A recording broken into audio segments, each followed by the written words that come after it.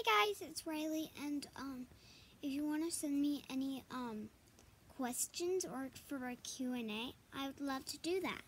So yeah, like ask me um, what is my phone number, um, my age, how did it feel when Toy Heroes replied to me because they just did, but um, like stuff like that. So yeah.